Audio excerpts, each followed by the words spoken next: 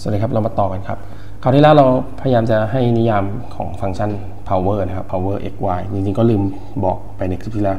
คือเราต้องการจะคำนวณ x ยกกำลัง y นะครับแบบนี้นะครับ นี่เราจะนิยามยังไงนะครับ ก็ลองมาดูตัวอย่าง เดี๋ยวเขียนข้างล่างแล้วกันนะครับ สมมุติเรามีสองยกกำลัง 3 จริงๆ มันก็คือ 2 คูณกับ 2 คูณกับ 2 คูณกับ 2 นะครับ ทีนี้เราจะนิยามให้มันเป็นการยกกำลัง ก็คือ ให้ให้เป็นฟังก์ชันเรียกตัวเองได้ยังไงนะครับ ก็ทำไงดีครับถ้าเราดูดีจริงๆ ถ้าเราไม่ไม่พยายามกระจายให้มันหมดจริงมันคือ 2 คูณกับ2ยกกำลังสามมันคือ2คูณกับ2ยกกำลังสองนะพอเราได้ข้อสังเกตตรงนี้เราก็จะไม่ยามอย่างนี้ครับ ก็คือ power ของ x นะครับ มันก็คือ power ของ x แล้วก็ทั้งหมดคูณด้วย x ใช่ไหมครับเดี๋ยวนะครับ แต่ว่าคูณด้วย x แล้วก็ y ลบหนึ่งนะเพราะเราเอาดึงดึงตัวนึงไปเป็นอันนี้นะครับอันนี้ก็จะเป็นนิยามของเรานะครับ แต่ว่าถ้าเรานิยามแค่นี้นะครับมันอาจจะมีปัญหาได้นะครับมีปัญหายังไงครับอลองคิดแป๊บหนึ่งครับแล้วเดี๋ยวเราค่อยมาดู ถ้าใครยังใช้เวลาจะคิดนิดนึงก็พอสวิดีโอก็ได้นะครับ โอเค พอจะนึกออกไหมครับอะถ้านึกไม่ออกเดี๋ยวเราลองดูครับ สมมุติว่าเราต้องการจะคำนวณ power ของ power ของ 2 ยกกำลัง 3 นะครับ ด้วยด้วยด้วยนิยามข้างบนนี้นะครับ มันจะคำคำนวณได้ไงครับ ลองลองไล่ดูนะครับ ก่อนนี้เราจะแสดงให้ดูลองคิดนิดนิดนึงนะครับ ถ้าเราทำตามนี้ไปเนี่ยมันจะเกิดปัญหาอย่างไรบ้างนะครับพอสวิดีโอได้นะครับ อะสมมุติว่า คิดคิดคิดได้แล้วนะครับ ก็เป็นไงครับอะก็คือลองมาไล่ดูครับ power มันก็คืออะผมเขียน 2 ข้างหน้าแล้วกันนะครับ 2 คูณกับ power ของ 2 3ลบ1ก็เลยเป็น 2 นะครับ ก็เท่ากับ 2 คูณกับ เทอมหลังนี่ก็คือ 2 คูณดึงมาไว้ตัวนะครับ power 2 1นะครับ เท่ากับ 2 คูณ 2 คูณ 2 คูณ power ของ 2 กับ 0 แล้วไงต่อครับ หลายคนน่าจะเริ่มเห็นปัญหานิดนึงนะครับ จากนิยามข้างบนของเรา ถ้าเรานิยามแค่แค่ด้านบนนี้นะครับ ปัญหาเป็นยังไงครับ สังเกตว่าจากตัวอย่างข้างบนนะครับ ข้างบนเนี่ยถ้าเรามามาลิงวิ่งถึง2กับ0แล้วเนี่ย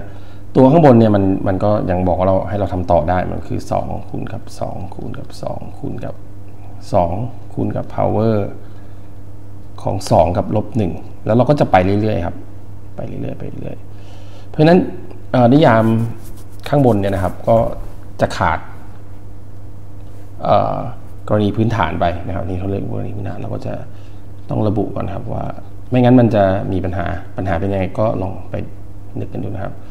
ก็จะต้องมีเคสพื้นฐานก็คือ x 0เนี่ยต้องเท่ากับ1นะ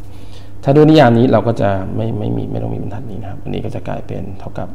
2คูณ2คูณ2คูณ1 นนะครับซึ่งถ้าเราคูณมาก็จะได้เป็น 8 อันนี้เป็นตัวอย่างของการนิยามฟังก์ชันแบบเรียกตัวเองแบบหนึ่งนะครับ คิดว่าน่าจะพอเห็นภาพนิดหน่อยนะครับ เดี๋ยวเราจะให้ดูตัวอย่างที่อาจจะจริงจังมากขึ้นนะครับ ก็คือเดี๋ยวผมจะให้ให้โจทย์ไว้แล้วก็ลองคิดดูแล้วเดี๋ยวเราจะไปพยายามเฉลยกันที่คลิปถัดไปนะครับอะ ฟังก์ชันเรียกตัวเองมันมีมีประโยชน์ตรงไหนบ้างนะครับ ก็ลองมาดูโจทย์ข้อหนึ่งแล้วกันนะครับเเรามีบันไดอยู่ครับสมมตินี้เป็นพื้นนะครับวันนี้เป็นบันไดอ่าโอเคทีนี้เวลาเราเป็นเป็นเด็กเนี่ยเราก็จะขึ้นบันไดบางทีเราก็ขึ้นทีละหนึ่งขั้นใช่ไหมบางทีเราขึ้นทีละสองขั้นครับยกตัวอย่างเช่นผมอาจจะก้าวหนึ่งขั้นมาที่นี่นะครับเราอีกก้าวหนึ่งก็ก้าวสองขั้นเพราะว่าเราอยากก้าวยาวๆนะครับ เราก็อาจจะก้าวหนึ่งขั้นแล้วก้าวหนึ่งขั้นที่นี่ อันนี้ก็เป็นวิธีการขึ้นบันไดแบบหนึ่งนะครับ ซึ่งจริงๆการขึ้นบันไดเนี่ยมันก็มีได้หลายถ้าเราบอกว่าเราจะขึ้นทีละ1ก้าวหรือ2ก้าเนี่ยนะครับ อีกวิธีหนึ่งที่ทำได้ก็จะเป็นแบบนี้ครับ ก็เปิดมาก็ขึ้น2ก้าเลย แล้วก็ฟิกต่อครับขึ้นถึง2ก้าแล้วขึ้นก้าเดียวแบบนี้นะครับ หรืออาจจะมีอีกแบบหนึ่งนะครับ จริงๆ มีอีกเยอะหลายสิบแบบเลยเดียวขึ้นมา2ก้าก่อน แล้วก็1ก้าว1ก้าว1ก้าไปเรื่อยๆแบบนี้นะครับคำถามก็คือว่า สมมุติว่าเรามีบันไดนะครับ บันไดเรามี อันนี้ตัวอย่างนี้หนึ่งสองสามสี่ห้าห้าขั้นเนี่ยถ้าขึ้นบันไดได้โดยก้าทีละหนึ่งหรือสองขั้น